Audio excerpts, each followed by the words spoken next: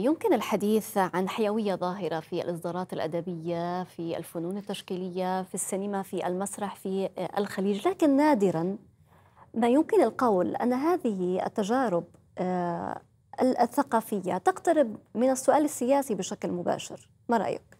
إنها تقترب أو لا أنها لا تقترب. لا تقترب من السؤال. بطبيعة الحال لا تقترب. آه، الذي يقترب من السؤال السياسي هي الأعمال الأدبية لأنها أعمال فردية لكن الأعمال الجماعية التي يجب أن أن يعني أن تنجز آه، يعني تحت عين السلطة كما يقال مثل الأعمال المسرحية والسينما والدراما. هذه لا تستطيع أن تقارب السؤال السياسي لأنه هامش الحرية هامش ضيق هو ليس في الخليج فقط في الحقيقة ولكن أيضا في العالم العربي مع يعني مع فروقات. مع إي مع فروقات وفروقات أحيانا آه، كبيرة. الآن في الخليج عندما نتحدث عن المسرح والسينما والتجربة التشكيلية علينا أن نتذكر أيضا أن هنالك تراجع الآن. وسأقول لك باختصار لماذا هنالك تراجع. يعني المسرح في قطر مثلا في قبل عشرين سنة هو أفضل منه حالا اليوم. آه، المسرح نعم الكويت. المسرح في الكويت طبعا تراجع تراجعا خطرا. والمسرح في عمان في السبعينيات والثمانينيات كان متقدما. لماذا؟ لأن المؤسسة الثقافية ليست ثقافية. لا تفكر بعقل المثقف. صحيح. لا تدار بعقل المثقف. لا تدار ثقافيا في الحقيقة إنما تدار بطريقة الاستتباع.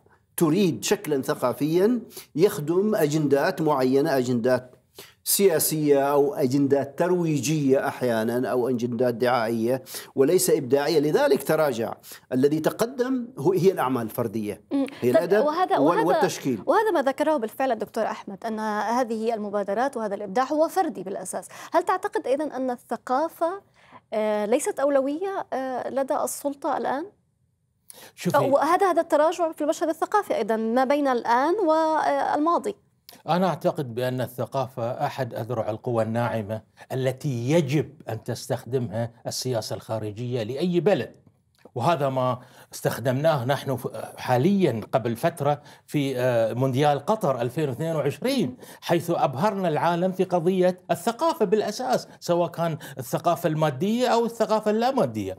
آه، أنا أعتقد بأن الثقافة تسير جنبا إلى جانب مع جهود السياسة. وما بحطها بين قوسين الدعاية السياسية. ولكن في نفس الوقت لما قال دكتور جهود فردية وأنا قلت أقصد إني أنا لا أستطيع أن أبدع وسيف الرقيب على ورقتي. هذا يقتل الكلمة. لذلك نحن دوما نطالب بأن يكون هامش الحرية للكاتب وللمسرحي ولأصحاب الدراما يكون أوسع شوي. وأنا لا أعتقد أن يكون هناك كاتب يعمل ضد مجتمع. التوجس من حرية الكاتب. هذه آه، آه، سلوك جاءنا في في الستينات والسبعينات. اليوم أنا أعتقد نحن كلنا مخلصون لأوطاننا وبالتالي عندما نكتب يجب أن نكتب بحرية. صحيح الحرية نقرنها بالمسؤولية. أنا لا أستطيع أن أجعل شابة عمرها 16 سنة تق... آه، يعني تقرأ كلام ما يجري في الغرف المظلمة. أنا لا أنا أقول أقول في روايتي وأغلق الباب.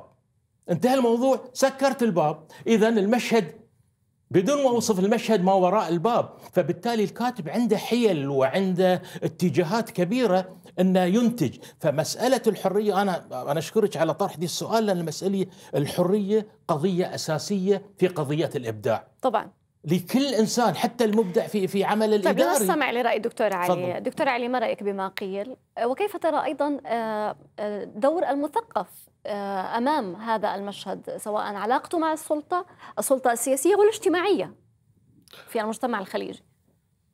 يعني مثل ما ذكرت أن المثقف اليوم مثقف اليوم يعيش أزهى حالاته. ويعني أكثر نشاطاته بدليل هذا الإبداع الكثير الذي أنتجه وأظهره إلى العالم. إحنا كنا يعني ناقشنا قضية وصول هذا الإبداع إلى الطرف الآخر عبر عمليات الترجمة التي وصلت إلى تقريبا أكثر من 35 لغة سيدات القمر مثلا لجوخ الحارثي ترجمت إلى عدة لغات وغيرها. حتى آه، الروائي سعود السنعوسي في 2013 آه، فوز بجائزة البوكر.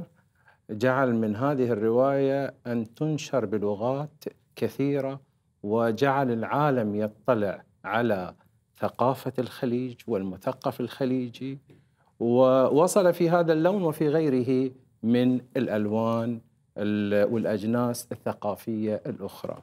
فهو يعيش أزهى حالاته المثقف اليوم.